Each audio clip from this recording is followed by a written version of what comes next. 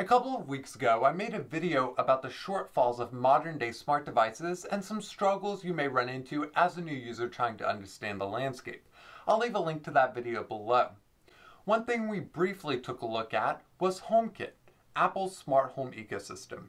Today we'll take an in-depth look at what HomeKit is, how it works, and the benefits of integrating your smart devices into the Apple ecosystem. Before getting into the video, be sure to like and subscribe and hit the bell icon so you're notified when we release a new video. I'm sure you've met Amazon's Alexa and know of Google's Assistant. Well, here's a quick summary of how smart devices work on those platforms. You buy a smart home device like a TP-Link smart plug, you download the corresponding app, in this case Kasa, create or sign in to your account, and follow the configuration wizard. Simple enough.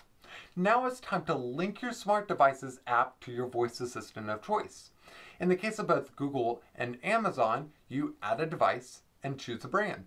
Then you're brought to a sign-in screen for you to link your smart device's account to your Alexa or Google Home account. And voila, you can control your smart home accessories through your voice assistant. After that, your account is linked and new devices added through that brand's app will automatically be added to the, your voice assistant. Now, you have three options for controlling your smart devices. The most convenient way is through a voice assistant. You can say, Alexa, turn on my lights, or OK Google, turn off the lights. But if you want more manual control, you can use a mobile app. One of your options is through that brand's app. For example, if you have a TP-Link smart plug, you would go to the Kasa app to control it. This option may be cumbersome, especially if you have multiple smart products across multiple brands, because that means you have more apps to sift through. Alternatively, you can use the Alexa and Google Home apps, which provide convenient control to all of your smart devices. But there's one ecosystem missing, Apple's HomeKit. Like Alexa integration with the Amazon ecosystem and Google Assistant's integration with the Google ecosystem, HomeKit integrates your smart devices into your Apple ecosystem. It all starts with the Home app, which you can find on your iPhone, Apple Watch, Mac, iPad, and even your Apple TV. You can create houses and rooms to organize your devices. And unlike Alexa and Google, adding a device usually doesn't require you to install an app or skill. And since the Home app is integrated into your Apple devices, it makes accessing your smart devices simpler via Siri Control Center or the Home app. With that quick summary out of the way, let's take an in-depth look at the Home app through an iPhone. When opening the Home app for the first time, you will get a splash screen where you can skip by clicking Continue. From there, you can see your home that was automatically set up. First, you will probably want to change your home settings. So, click the Home icon at the top left and choose Home Settings. From this page, you can change its name, invite others to join, change your wallpaper, and add some notes. If you're managing smart devices across multiple buildings, you can create more than one home by tapping the Add Home button at the top. Before we start managing rooms, we need to add an accessory. First, make sure your smart device is compatible with HomeKit by checking the manual. After confirming you have a compatible device, tap on the plus in the top corner, then select Add Accessory. From the pop-up, you can scan the barcode found on your smart accessory or hold your iPhone near the accessory. If these options don't work, tap I don't have a code or cannot scan. This may bring up your accessory as it did for me. If your device still doesn't come up, tap My accessory isn't shown here. This will give you some troubleshooting tips. For me, I'm going to select my HomeKit compatible smart speaker, which is a Airport Express. After selecting the device, it's time to assign it to a room. Scroll through the list and choose a room that best fits its location. If your room isn't listed, you can select Create New Room from the bottom of the list and give your room a custom name. For my speaker, I'm asked to name the accessory. This name is how the device will be identified in the Home app. I'm going to keep it as is and continue. Now your accessory has been added to your home.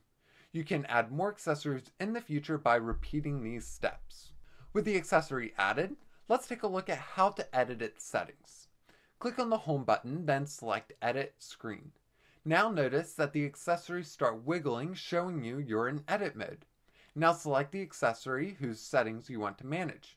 You can change its name, assign it to a different room, and manage other device specific settings.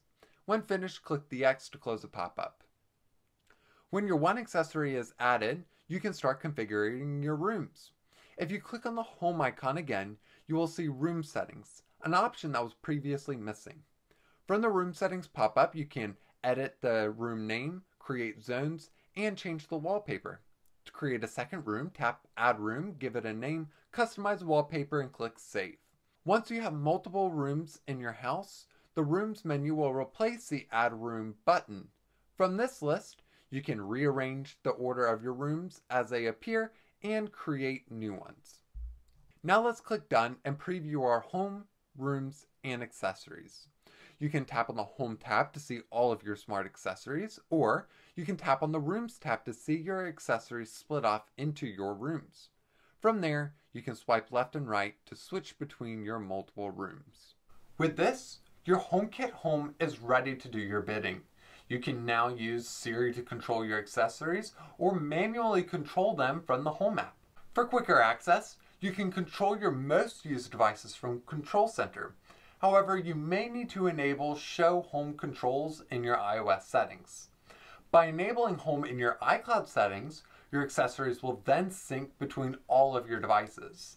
And if you want to share control of your accessories, you can invite members by going into the home settings of the Home app.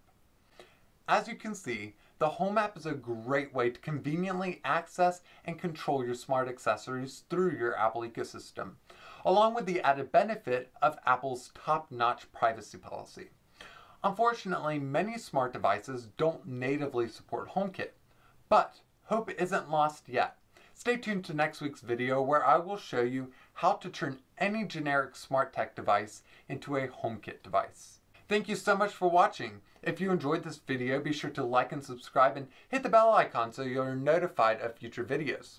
Also check out the links in the description for more on this topic, and if you're leaving with more questions than answers, you can drop those in the comments below.